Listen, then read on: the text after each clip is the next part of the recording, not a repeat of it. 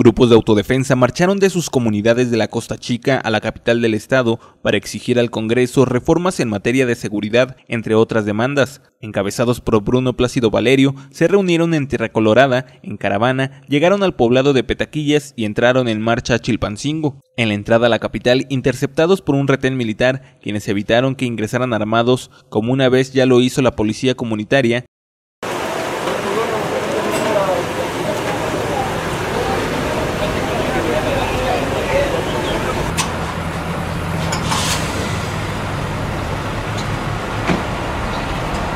una prioridad urgente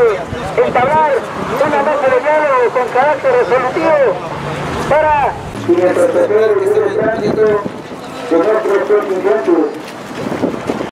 con parcartas y lonas en las que exigían un alto a la corrupción en los grupos de seguridad pública, avanzaron por el bulevar Petaquilla Chilpancingo hasta llegar al Congreso local. Bruno Plácido Valerio exigió nuevamente que se investigue a los políticos y funcionarios de los tres niveles de gobierno que tengan vínculos con el narcotráfico,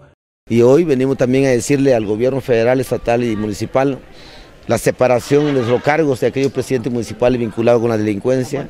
aquellos comandantes de la policía judicial, de aquellos, de aquellos eh, policías federales que están vinculados con la delincuencia,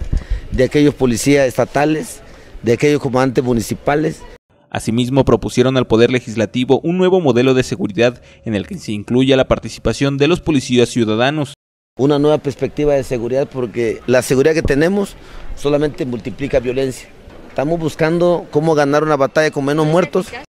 Por su parte, representantes del sector empresarial denunciaron que la capital está a punto del colapso por la delincuencia y falta de apoyo por parte del gobierno. Con imágenes de Bernardo Torres, de Agencia de Noticias Guerrero, Carlos Navarrete.